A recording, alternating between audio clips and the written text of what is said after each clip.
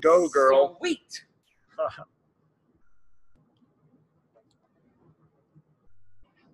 Hey, how's everybody doing? Jean Ginzburg here, and I have a very special guest, Adam. Adam, do you want to introduce yourself? Uh, Adam Pitale, and I founded Adams Polishes coming up on 20 years ago here in February. Wow. Know. So we met because we were both on the fast, the Denver Business Journal Fast 50 list, uh, which is a list of the fastest growing companies in Colorado. I guess in Colorado, right? Not just Denver. Yep. Um, so that's how we ended up meeting. So I was like, hey, let's do a podcast. Let's do a video together and learn a little bit more about what you what you do. So tell us about the company. Well, uh, Adams Polishes, we manufacture premium car care products. We do everything you can imagine to clean, polish, wax, seal your car, your boat, your airplane, and now your house. So we get involved with other groups as well. We get involved, we do collaborations with a lot of different groups. So we do collaborations with um, you name it, kinds of people. Like you could see our Instagram to see uh, Adams Polishes, to see all the different people that we do collaborations with. But so we're a manufacturer of car care products. We are also a marketer, and then we we film a lot of how-to videos, so you can figure out how do I get that little bird poop stain off of the off of my finish, or how do I get the blue jean marks out of my leather seats, or you know, how do I get the inside of my windshield really clean, or how do I get a swirl-free perfect finish? That's something that we get involved with uh, doing a lot of education as well as you know product sales and solution sales. That's fantastic. So sounds like you are very active on social media. We are, yeah, we Okay. uh, we we are. We we have a special like we do a limited edition special release bottle with every fifty thousand new followers. So hmm we just hit three hundred and fifty thousand followers. Uh, I think a few, maybe a few months ago. So On, on Instagram. on Instagram, Oh, yeah, and Instagram cool. being our, our main deal. With Facebook, you know, we do a little bit on Facebook too, but we spend a little bit of time. Yeah, we're doing social media marketing. We've got a marketing team of ten people, Awesome. and they're outstanding.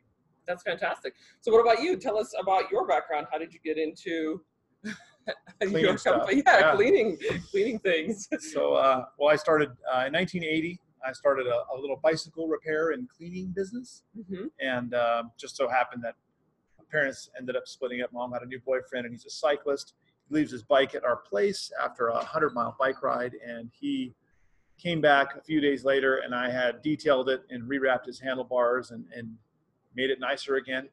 And um, and he went back to his work, which was Allergan Pharmaceuticals, and they had a bicycle, a whole bicycle team club there, and told everyone, uh, this kid is nine years old and he's like this manual labor, you know, prodigy. So basically, my mom started bringing home bikes every day from from work, and uh, Adam's Bicycle Repair and Cleaning happened. And after a while, that little business uh, was was great. And every night, I had lots of bikes to to repair and, and do things with. And then I started washing the neighbors' cars, and then the next Okay. washing and waxing the neighbors' cars. So by the time I was like 12 or 13, I had a good little neighborhood business going. And Okay. So you started young, right? I, did. I started pretty young. When you yeah. were like nine years old. So this Yeah. all like started yeah, at, at 40 years ago. Yeah. Wow. Yeah. So that's a I can't say I know anybody who's been in Yeah. business really for for 40 years. Who's 50, yeah. yeah. So I've been at it for a minute and uh, I got into fleets, got into fleet detailing a lot in high school, started realizing in Southern California, driving's terrible. So spending a lot of time on, on the freeways, going from customer to customer's house. So I ended up doing some limousine fleets and I'd go do a free detail for every limousine fleet owner in the area. And they would, they'd say, okay.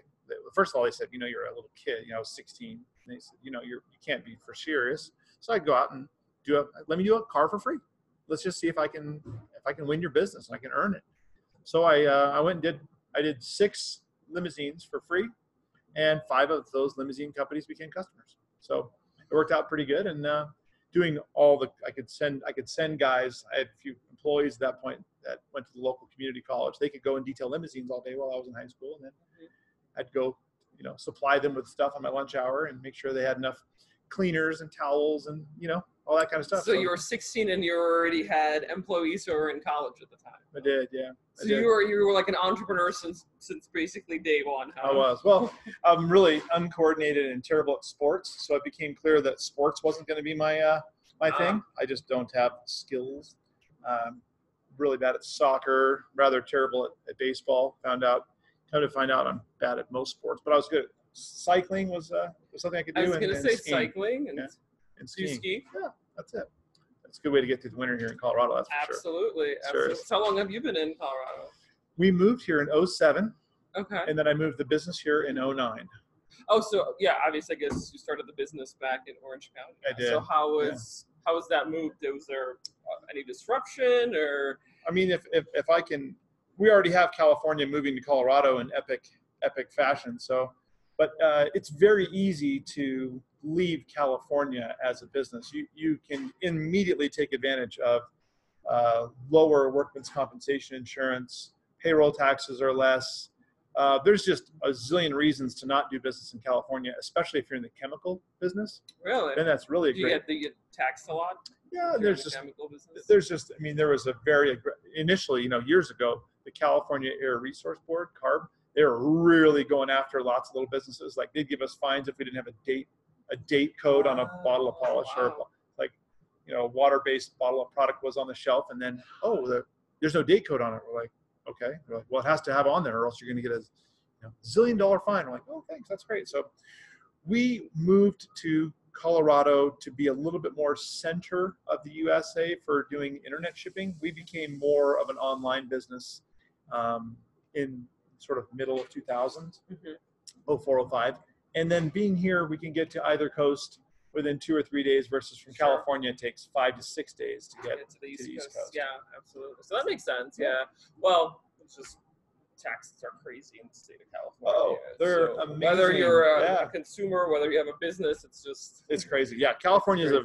California is a tough state to do business in. So Yeah. there's obviously a reason that a lot of companies are, are moving out of California. And we still have a percentage of our business there in California that's substantial. In fact, we just opened a facility in Anaheim, California, not far from where I started the business in Costa Mesa. So we do have a facility there now. We ship to all of our Southern California, all of California. And I think that by the end of the week, this week, we're going to start shipping to Oregon. And then by the end of next week, Washington. And then we're going to add Nevada, add Arizona. So we're just going to have our distribution centers make it so that everyone's getting really excited about getting their stuff tomorrow. You know, Mhm. Amazon sort of setting everyone Yeah. up to be, two day I shipping. want my stuff now or tomorrow. I want it right now. So if you get it, um, if you get it tomorrow, you're good. If you don't get it tomorrow, you're you're pissed. So for us, we're now putting these these distribution centers with a little retail store in the front. Uh, we plan to have three or four of those by the end of 2020. Wow. Yeah. That's amazing. So my next question is about recent wins. I mean, it sounds like you have had a lot of recent wins. The Denver Business Journal Fast 50. You just reached 350,000 followers on Instagram. You're opening up new locations. So any other wins that you want to share?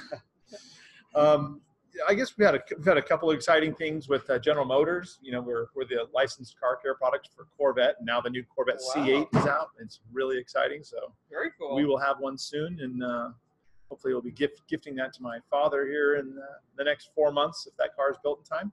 oh, anyway. gifting the actual car, not just Yeah, not just yeah. the polishes, huh? He gave me a, he gave me a uh, a Corvette actually when I was in college. He had an old Corvette, and he said, "Hey son, good news, bad news. Good news is I'm not paying for any of your student loan debt. Uh, that's the bad news. Good news is you can have the Corvette." So I said, "Oh, yeah, thanks. That's what year was it? 62, 1962." Wow, do you still have it? We ended up selling it just uh, in 2014. So, uh, but anyway, we sold it for a nice chunk, and he Uh-huh. gave me the majority of that of that. So now it's my Oh, turn to sort of give back. So Oh, So well, he- that's fantastic. I'll have another Corvette again soon. Wow. Well, that's that's very It'll exciting. cool. I guess another win would be uh, we just we're starting our fourth year with Barrett Jackson, so it's a big uh, collector car auction. They do four of them around the country, Mhm. and uh, the Barrett Jackson we do a private label for Barrett Jackson, so that you can buy Barrett J- Jackson labeled products. And we're the on-site detailer there, so we go to all these big shows. So the biggest one of the year is exciting as heck. It comes up in Scottsdale, so it's auction week there in Scottsdale, and uh, it's one of the greatest times to, to be thawed out and 72 degrees and perfect in Scottsdale while everyone here in Colorado's freezing their butts off. So So well, I wouldn't say. I mean, yes, people are freezing their butts off, but you we're have the mountains and we're you have, skiing, yes, and we love skiing. I know, but anyway, so we'll be out there doing that. And that's a that's a And fun- that's what in the in the winter, yeah, it's January. January. Coming so it's right coming up. It's right around the corner, huh? Yep. I can't believe like 20, 2019 is like almost over. It's crazy. flew by Time just like that. Yeah. So true. So, what about some new initiatives or projects that you're working on to drive the business? So for us, um, really making sure that we're going to be best in class. So let's say you're looking for a tire shine or you're looking for a product to clean your seats. We want to make sure that we come up with a solution that's best in category. It's not just a chemical, really, it's a process. It's a chemical plus an, a scrub brush or a towel or just a method of achieving a perfect finish, whether it be your leather seats or your glass or whatever. So um, for us, those those are really critical for us to be first in category in each one of those. So making sure that when it comes to leather care, you don't want slippery, you know, slimy, Slimy leather. stuff, You don't want yeah. shiny dashboards. You want to make sure that you got the best thing going there for that. So, so for us this year, um, we're actually looking at doing a SKU reduction. In other words, Oh, we are going to make our product line even smaller, more concise and tighter so that you want to you want to know how to make your glass perfect. Well, there's three products that it takes to make your glass truly perfect instead of you know some of our competitors have 11 or Mhm. 16 products. So for this year, simplicity is absolutely key. We want to have a very simple way to achieve perfection on any finish on your vehicle. that's that's amazing. Yeah, actually, more being more, I guess, niching down and being more specific versus like having Yeah. hundreds and, and thousands of Yeah. SKUs. So It's like the you go into an auto parts store, right? And you look at all the different stuff you'd buy to wash and dry and wax your car, and you just look, and we call it the wall of confusion. You just look at this wall, and you it's just just start bottles. glazing over. Yeah, like you're your like, eyes start oh, glazing "Oh, over. You're like, gosh, what? do I need for my car? I car?" don't even know. So yeah, so we want to be the other side of that, which would be, oh, you want to use a product for for making your tires shiny or just dark? Good. We have two products, either high gloss or matte finish. Not you want to spray it on, you want to brush it on, you want to you know you want to breathe it on, you want to do whatever you're going to do. Here's the two products, and this is going to be two different results, and there's no question on which which going to be. It's personal preference. You want your you want to look like that or like this. So simplicity is going to be a big thing for us in 2020. Great, I love it. Simple, fast, easy. Yeah. Get that, get right down to the point instead of like, I don't know what I need. Yeah. Yeah, get her done. Yeah, I, I love it. I love it. So, um, so you've been a business owner for a very long time. Very long time. Yeah, Very long yeah. time. Uh, Pretty much so, my whole life. um, tell me so about one tool that you use that you think would be that's like critical to your day, critical to your business, critical to just getting things done. What, what do you say would that be for you? Oh man, One tool. you One can pick one. I was going to say one tool. Oh, well, one tool. it could be an I'm- online tool. It could be a software. It could be you know an actual tool Yeah. that you use in your business. I mean, I don't know. You know what we're using right now, which has been become a really useful tool, is this uh, software called Monday.com. Yeah, it's like a project management tool. Yeah. hmm So for us, we're just we have you know we have about almost 150 employees now. We have like 120 full time and 30 people that go and do detailing with all these big events. We've had so many people trying to communicate progress on different projects, and it's really easy to veer off and get lost and sort of lose focus. And with the Monday.com uh, software system, it's really helped our business become a lot more focused and accomplishing tasks, making sure that okay, you were going to do which part? Okay, great. You got that done? Super. And then you can highlight it. You know, is it a high priority, medium priority, low Mhm. priority?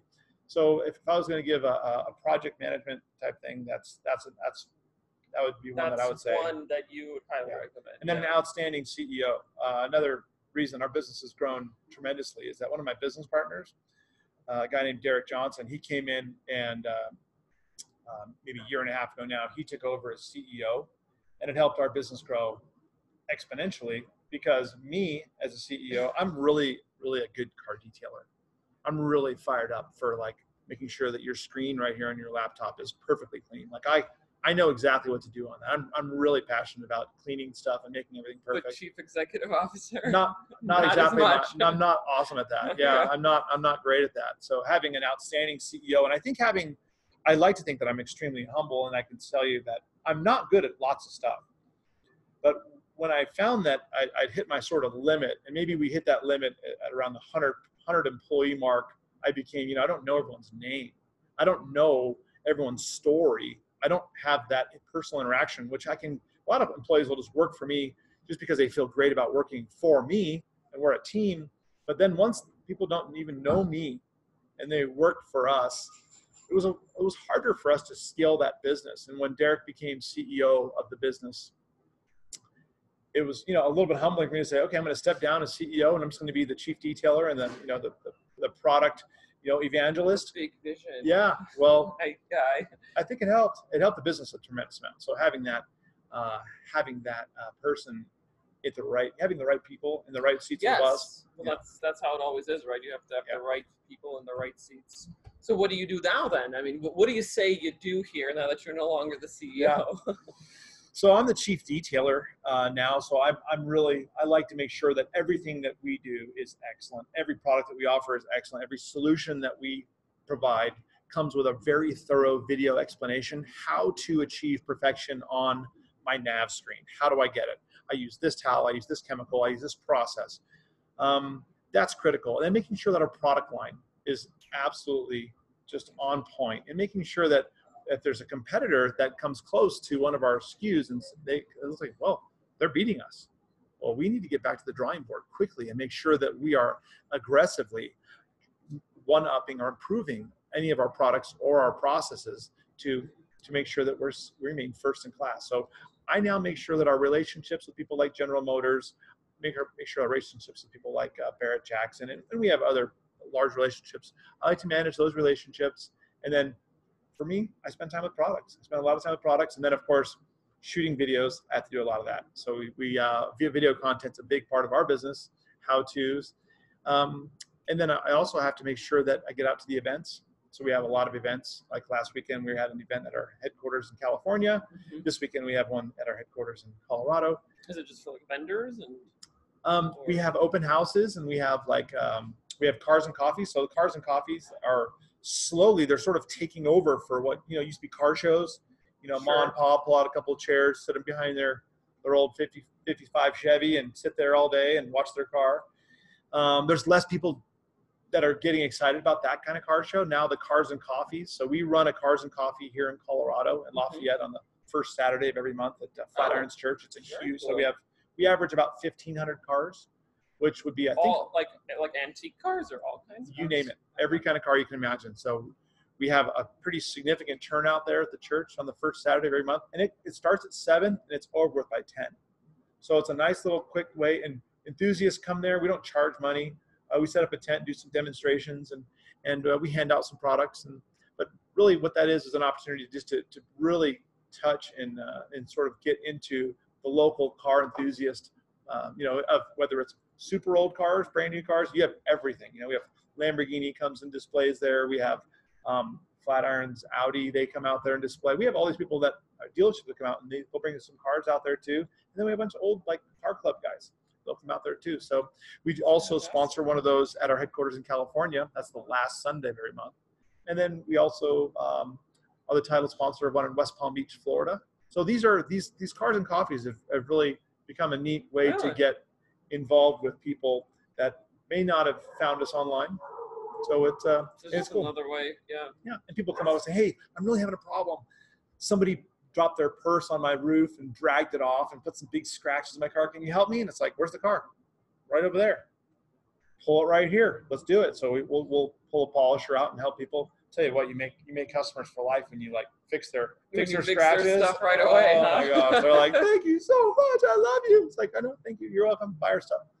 So That's great. So it sounds like you're kind of the face of the company now, and then the chief content strategist and the um, chief uh, face chief detailer, yeah. chief detailer. We- yeah, and we have marketing. I, so I have a marketing team that's led by a guy named Matt Butcher, and his his team's just incredible. They, they they create some content. We sell these mystery boxes and all these crazy apparel and stuff that I never in a million years would have thought would become successful. Yet it's become a really big piece of our business. You know, branded apparel. So our marketing team is is led uh, and and is fully operated by Matt and his his group of 10 people really get a chance to uh, to surprise us regularly. You know, do we just got through Black Friday and Cyber Monday, and uh, you know, we again we were we were you know significantly up over last year, and a lot of it was just they just they just pull some random crazy stuff out. It's like, how do you think like that? You know, it's like, where do you get it? You probably understand better than I do because you're you're you're younger and you're a marketing person. So uh, so older grown-ups that are not marketing people always Grown-ups. shake your head and go, how do you do that? That's amazing. Ideas, I guess. I guess and so. then using the technology that's available to Yeah, you. using God's gifts, Yeah. using God what God gave you. Yeah. And then I guess the last question would be: So, what is your prediction for the industry? It could be anything. It could be related to your industry. It could be Yeah. related to AI. It could be related to you know, talking and walking robots? What do, what do you think is happening in the next five, ten years? Well, people are definitely still cleaning their cars. And Okay. even if they're not owning the car, you know, people like to ride in a not disgusting car. You know, and if you don't have to drive your car, you still have to ride in it. So if your car true. is driving itself, I think you still get a chance to uh, to go ahead and clean it. Um, I think one of the things is that we're finding is um, we are able to help people that didn't previously clean their cars clean their cars, and that's with video education and helping people. The other thing is women are probably the biggest segment of the the population that new market. yeah, huge. You know, we're really into uh, no boobs, no butt, no sleaziness at all in any of our marketing. You don't just- take your shirt off when you're doing your video. We don't have girls- kidding, yeah. my boobs once in a while. Once in a Once while, in a while, I'll take my shirt off and, Yeah. shave them. No, that's gross. and I do and I Um, do a video about yeah. how to polish cars. Yeah. No, but women are. I mean, we we have earned the business as a percentage much more so than most of our competitors because we just don't. We just have a very hey, here's how to do it type attitude versus a hey, look at this girl in a bikini getting foamed down with a with a foam gun type thing. It's like no, that's that's not the way to go. So The industry more, more is- family style. yeah, more family style. Yeah. I remember when we started uh, our forum, which is like Adam's Forums, which is like you know before before Before- Instagram, yeah, you know there were all these yeah, enthusiast forums. forums, right? Yeah, yeah, You yeah, remember it's funny they're all they're all not as not as. No, uh, yeah, the people probably watching this video probably What's a forum? Yeah, they're probably Right. like, "What's what is that?" But what I remember, we I just had a new baby, so our, our oldest is now 11. So I had a new a baby girl, and I remember you know having always looking at all the different companies marketing and how they how they show up and how they how do they try to get new customers.